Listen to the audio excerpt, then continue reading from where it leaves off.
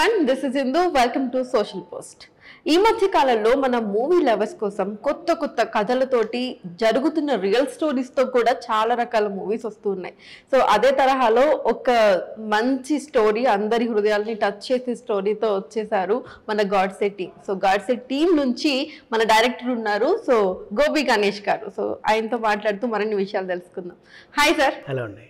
Sir ఎలా ఉన్నారు? Cool so మీ జర్నీని ఒక ఇన్స్పిరేషన్ సార్ సో స్టార్ట్ ఫోటోగ్రాఫర్గా కెరియర్ని స్టార్ట్ చేసి ఒక డైరెక్టర్గా హిట్స్ మీద హిట్స్ అందుకుంటూ ఉన్నారు. Congratulations so Godse trailer teaser release అయిన సాంగ్ అన్ని కూడా చాలా చాలా బాగున్నాయి. ఎలా ఫీల్ అవుతున్నారు? అంటే డెఫినెట్గా హ్యాపీగా ఫీల్ అవుతాం కదండి మామూలుగా. అంటే అంటే నా నా హ్యాపీనెస్ నేను అది ఆ హ్యాపీనెస్ సరిపోదు డెఫినెట్గా ఓకే జూన్ సెవెంటీన్త్ రిలీజ్ అవుతుంది. మేము చాలా సిన్సియర్గా చాలా కాన్షియస్గా సిన్సియర్గా కొన్ని విషయాలను అడ్రస్ చేయాలని ఒక ఒక బాధ్యతతో తీసాము. అందరికీ రీచ్ అవుతే అప్పుడు అప్పుడు హ్యాపీ ఓకే సత్యదేవ్ తోటి సెకండ్ మూవీ సో ఎలా ఫీల్ అవుతున్నారు? కూల్ వెరీ అంటే చాలా కంఫర్ట్ అండి నాకు. నాకు చాలా కంఫర్ట్ నా వర్క్ నేను చాలా ఈజీగా చేసుకుంటూ వెళ్ళిపోతూ ఉంటాను ఓకే అప్పుడు నేను ఏదైతే రాసుకున్నానో రాసుకున్న దాన్ని దాన్ని టూ హండ్రెడ్ పర్సెంట్ తను అంటే జస్టిఫికేషన్ అంటే జస్టిస్ చేయడం జరుగుతుంది అంతా చాలా కాన్ఫిడెంట్గా అంటే నేను హ్యాపీగా ఉండొచ్చు అనమాట అంటే నేను నేను ఏం చెప్పాలనుకుంటున్నానో దాన్ని హండ్రెడ్ పర్సెంట్ దాన్ని అండర్లైన్ చేస్తాడు అంతా. పర్ఫార్మెన్స్తో సూపర్ ఓకే సో అసలు మీ జర్నీ ఎలా స్టార్ట్ అయింది? డైరెక్టర్గా ఎలా స్టార్ట్ అయింది చెప్పండి. డైరెక్టర్గా స్టార్ట్ అవ్వడం అని అంటే యాక్చువల్లీ నేను నేను ఇక్కడ హైదరాబాద్ అంటే సినిమా ఇండస్ట్రీకి ఎప్పటి నుంచి రావాలని చాలా సీరియస్గా ఇది ఉన్నాను. టీ కృష్ణ గారు ఇన్ఫ్లుయెన్స్ ఆమె చాలా ఉండే. మెయిన్ కానీ అప్పటికి అప్పటికి నాకు డైరెక్షన్కి వెళ్ళాలి అనే ఇది లేదు కానీ మెయిన్ మన మధ్య జరుగుతున్న విషయాల్ని కొంచెం స్ట్రాంగ్గా చెప్తుంటే నాకు బాగా అనిపించేది అంతా. అది అంటే ఆ ఏజ్లోనే బాగా అనిపించింది. తర్వాత నేను ఇండస్ట్రీకి రావాలనుకున్నప్పుడు జేఎన్టీలో ఫోటోగ్రఫీలో బ్యాచిలర్స్ నేను చ- చదువున్నా సినిమాటోగ్రఫీ సంబంధించిన. ఆ ఫోటోగ్రఫీ చదువుతున్నప్పుడు ప్యారలాల్గా పక్కన చాలా మణిరత్నం గారు ప్లస్ శంకర్ గారు వాళ్ళ సినిమాలు చాలా బలంగా సొసైటీ మీద ప్రభావం చూపించడం ఏదైతే ఉందో నేను ఆ జోనర్లోనే కొంచెం నా థాట్ ప్రాసెస్ ఉండే అంత మెయిన్ అలాంటి అంటే మన సెన్సిటివ్ ఇష్యూస్ని తీసుకుని దాన్ని కొంచెం చాలా స్ట్రాంగ్గా అంటే ఆన్ స్క్రీన్ మీదకి ప్రజెంట్ చేయడానికి ఒక- కమర్షియల్ పందా ఏదైతే ఉంటుందో అది నాకు చాలా బాగా అనిపించింది. అనిపించి అప్పుడు అంటే నేను ముందు సినిమాటోగ్రఫీలో వర్క్ చేస్తున్నప్పుడే పూరి గారి దగ్గర జాయిన్ అయ్యాను నేను. పూరి సార్ దగ్గర. పూరి సార్ దగ్గర కూడా ఎలా అంటే నాకు కావాల్సినంత స్పేస్ ఇచ్చేవారు ఆయన. అంటే చాలా నాకు అన్ని రకాలుగా నేను చాలా సపోర్ట్ చేసేవారు అందరిని. నా ఫస్ట్ ఫిల్మ్ కూడా ఆయనే ప్రొడ్యూస్ చేశారు. అయితే ఆయన దగ్గర ఏంటంటే అంటే హీరోలు చాలా స్ట్రాంగ్గా ఉంటారు. మెయిన్ చాలా డైనమిక్గా ఉంటారు. ఆ డైనమిక్ హీరోయిజం ఏదైతే ఉంటుందో అది ఆయన దగ్గర చాలా దగ్గర నుంచి అంటే ఒరిజినల్గా ఆయనలో ఉంటుంది. ఆయన ఆయన యాక్చువల్గా ఆయన సినిమాలో కనిపించే హీరోల కంటే కూడా ఆయన చాలా డైనమిక్ మెయిన్ అది అంటే అంటే అంటే ప్రాక్టికల్గా పక్కన ఉండి చూసినప్పుడు ఎన్నోసారి స్పెల్ బర్డ్ అవ్వడం జరిగింది అనమాట అంతా ఆ క్యారెక్టరైజేషన్ చేయడం అనేది అంతా. తర్వాత మెల్లగా ఫస్ట్ ఆయన ప్రొడ్యూస్ చేశారు నా ఫస్ట్ ఫిల్మ్ ఎస్ రోమియో. తర్వాత బ్లఫ్ మాస్టర్ అది కూడా కొంచెం సొసైటీలో ఏదైతే చాలా ఈజీగా మోసపోయే అంటే మనీ ఏమైతే ఉందో దాన్ని కొంచెం రోజు పేపర్లో టీవీలో చూసినప్పుడు ఇదేదో కొంచెం మనం అంటే ఈజీ మనీ కోసం పరిగెట్టకూడదు అని చెప్పడం కోసం ఒక మంచి స్లాట్ అని అనిపించింది. సిన్సియర్గా దానికి రాసి తీసాము. అది అంతే పబ్లిక్లో చాలా రెస్పాన్స్ చాలా మంచి రెస్పాన్స్ వచ్చింది. అసలు డైలాగ్స్కి అయితే ఇంక అసలు ఇప్పటికీ చాలామంది చెప్తూ ఉంటారు అంతా. మా నా గురువు పూరి సార్ డైలాగ్స్ని చాలా అప్రిషియేట్ చేశారు. చిరు సార్ మెగాస్టార్ చిరు గారు కూడా డైలాక్షన్ చాలా చాలా అప్రిషియేట్ చేశారు అంతా. ఇంకా అది వదిలిపెట్టొద్దని చెప్పారు ఆయన చాలా సీరియస్గా ఇప్పుడు అలాగే మన పక్కన జరుగుతున్న ఒక సీరియస్ బర్నింగ్ ఇష్యూ ఏదైతే ఉందో దాన్ని కొంచెం అంటే మనం ఎవరికి వాళ్ళు వదిలిపెట్టేస్తున్న అంటే దాన్ని పట్టించుకోకుండా ఇది ఇంతే ఈ టైం ఇంతే మన మన ఈ అంటే మన సిస్టమ్ ఇంతే అనుకుంటే వెళ్ళిపోతున్న దాన్ని ఒకసారి గట్టిగా క్వశ్చన్ చేసేటట్టు. అంటే క్వశ్చన్ చేయకపోయినా అట్లీస్ట్ ఒకసారి దాని గురించి ఒకసారి అవును కదా అని ఆలోచించేటట్టు చేయాలని మేము చాలా సిన్సియర్గా ఈ అటెంప్ట్ చేసాం. అండ్ బ్లఫ్ మాస్టర్ కానివ్వండి అండ్ గాడ్సే కానివ్వండి so money money money money మరీ మనీ మీదనే ఎక్కువ ఐ మీన్ గాడ్సే పాయింట్కి వస్తే సో ట్రైలర్ కానీ ఇది కానివ్వండి సో ఎక్కడైతే ఎక్కువ మనీ అనే దాని మీద మనకి వస్తుంది కదా. సో ఏదన్నా ఏదన్నా ఒకటి ఇన్స్పిరేషన్ తీసుకున్నారా? ఇన్స్పిరేషన్ ఏం లేదండి. అన్నీ మా మామూలుగా అంటే మన అనాదిగా మొత్తం ఎప్పటి నుంచో వెరీ లాంగ్ బ్యాక్ నుంచి మన తెలిసిన విషయం మామూలుగా. అంత మనీ మనతో ఎంత నేను బ్లక్ మాస్టర్ సినిమాలో డైలాగ్ రాశాను. నింగి నీల నేరి నిప్పుతో పాటు డబ్బు మా పంచభూతాలతో పాటు డబ్బు ఆరోభూతంగా మారిపోయింది. పంచభూతాలని శాసించే స్థాయిలో కూర్చుందని చెప్పి. బ్లక్ మాస్టర్ చాలా చాలా హై వోల్టేజ్లో ఉంటుంది అంతా అదే దాని చుట్టూ మెయిన్ మన అంటే అంటే మానవ సంబంధాలు ప్రభుత్వాలు సిస్టమ్ అన్నీ కూడా దాని చుట్టూనే ముడిపడి ఉన్నాయి అంత.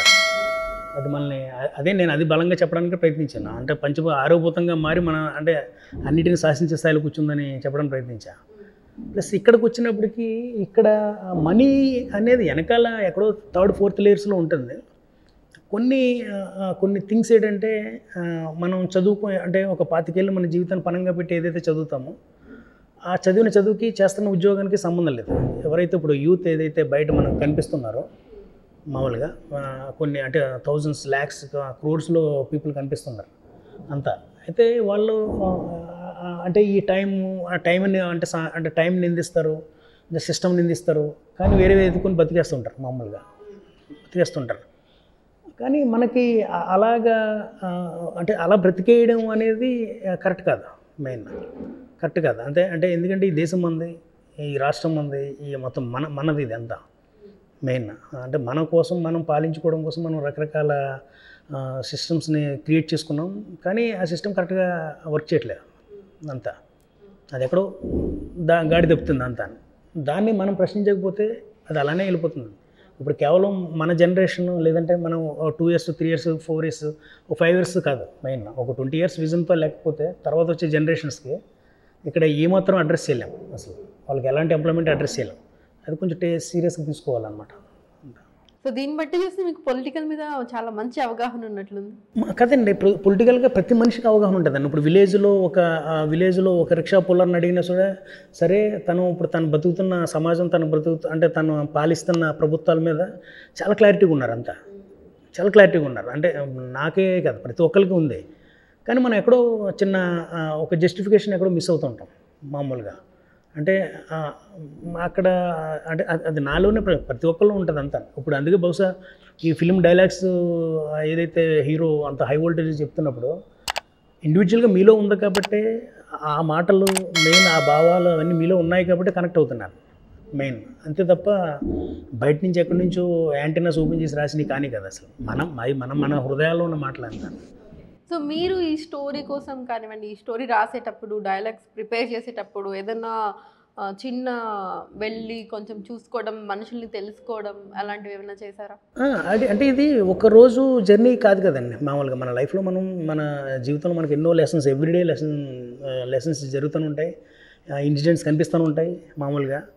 అలాగా అంటే నేను చూశాను చాలా చోట్ల అంటే నేను ఈ ఫిల్మ్లో అడ్రస్ చేశాను దాన్ని. అంతా. ఇప్పుడు మీరు ఒక ఒక ఫ్యూల్ స్టేషన్కి వెళ్ళి మామూలుగా థౌజండ్ రూపీస్ పెట్రోల్ కొట్టమని చెప్పి ఇలా చూశారనుకోండి. అది సరి కొడుతున్నాడు లేదని ఇలా చూసినప్పటికీ ఒక భారత్ పెట్రోల్ హిందుస్థాన్ పెట్రోల్ కాస్ట్యూమ్లో కాకుండా డ్రెస్ కోడ్లో కాకుండా కాన్వికేషన్ డిగ్రీ తీసుకున్నప్పుడు వేసుకునే కాన్వికేషన్ డ్రెస్లో ఫీల్ కొడుతున్నాడు అనుకోండి మీకు ఏమనిపిస్తుంది అసలు? అంటే ఇది రియల్గా జరుగుతుంది. అంటే ఒక గ్రాడ్యుయేట్ ఉన్నాడు యా అంత. అలాగా ఇప్పుడు జొమాటో స్విగ్గీ వచ్చిన వాళ్ళు వాళ్ళు ఆ డ్రెస్ కాకుండా ఒక కాన్వికేషన్ డ్రెస్లో మీకు కవర్ ఇస్తున్నారు అనుకో మీకు ఎలా ఉంటుంది అంత? అంతా. ఇప్పుడు మీరు మీ మీ స్టూడియో నుంచి ఇక్కడికి వచ్చినప్పుడు దారిలో ఒక క్యాబ్లో ఏదో ఎక్కినప్పుడు ఆ క్యాబ్ డ్రైవర్ ఎవరైతే ఉంటాడో తను ఒక ఓలానో యూబరో కాకుండా ఒక కాన్ఫికేషన్ డ్రెస్ తీసుకుని ఓకే మేము అలా అని చెప్తే మీకు ఎలా ఉంటుంది? ఇది రియల్గా జరుగుతుంది. మనకు పక్కనే జరుగుతుంది ఎవ్రీడే అంటే ఇప్పుడు నాకు అంటే ఎవ్రీడే మనం పక్కన జరుగుతున్న విషయాలే. దాన్ని మనం చూసి చూడనట్టు పోతూ ఉంటాం. అంటే ఏం చదివి ఏం చేస్తున్నాం అని వెళ్ళిపోతూ ఉంటాం. అది అంత చిన్న విషయం కాదు మెయిన్. అంటే ఒకరు ఇద్దరు విషయంలో కాదు. పర్సంటేజ్ ఆఫ్ అంటే చాలా మనం భయపడవలసినంత పర్సంటేజ్ ఆఫ్ పీపుల్ అలా అలాగే బతికేస్తూ ఉన్నారనమాట వాళ్ళ వాళ్ళందరిలోనే చిన్న ఆవేదన ఉంటుంది. అంత అరే నేను చదివింది ఏంటి నేను చేస్తుంది ఏంటి అని. అలాంటి ఆవేదనకి అడ్రస్ చేయడం కోసం గాడ్ సేవ్ చేయవచ్చింది ఓకే సో ఇప్పుడు గాడ్సే మూవీ చూసి ఎవరైనా పొలిటికల్ పార్టీ నుంచి కొంచెం ఇన్స్పైర్గా ఫీల్ అయ్యి సో మిమ్మల్ని కాంటాక్ట్ చేసి మా పార్టీకి సపోర్ట్ చేయండి అంటే ఏమంటారు అసలు నేను నేను ఏ అంటే నేను ఒకటే చెప్తున్నాను అంటే మనం మై- మనం అంటే ఏ పార్టీ ఇది కాదు? మనం అందరూ మన అంటే ఇది స్టేట్ మనది ప్రభు అంటే ప్రభుత్వాలు మనం ఫామ్ చేసుకునే అంత అన్న. మెయిన్ ఈ పార్టీ ఆ పార్టీ అనేది ఏమి ఉండదు మంచి ఎవరు చేస్తారో వాళ్ళు ఒక లాంగ్ లైఫ్ ఉండాలని కోరుకుంటాం మనం చాలా స్ట్రాంగ్గా లేదంటే చాలా వాళ్ళు ఎవరైనా వచ్చినప్పుడు ఆటోమేటిక్గా తీసేస్తూ ఉంటారు పబ్లిక్ పబ్లిక్ మామూలుగా అంటే అలాగే ఏ పార్టీ కోసం ఇది లేనే లేదు అసలు. చాలా సిన్సియర్గా ధర్మంగా మన మనసుల్లో అయ్యో అని అనిపిస్తున్న విషయాలు ఏమైతే ఉన్నాయో దాన్ని ఒకసారి నేను తట్టి లేపాలనుకుంటున్నాను. అందరికీ నమస్కారం. దయచేసి అందరూ సోషల్ పోస్ట్ డాట్ న్యూస్ని సబ్స్క్రైబ్ చేయండి.